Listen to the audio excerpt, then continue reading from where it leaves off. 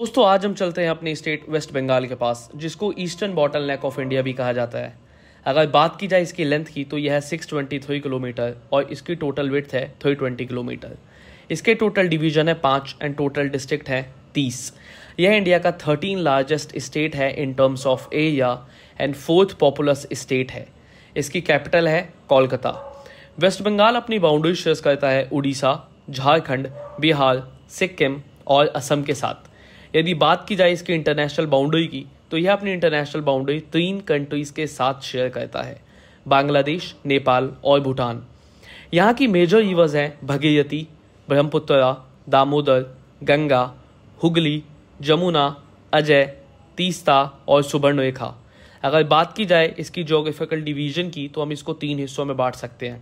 First northern mountain region second western plateau and third the plain West Bengal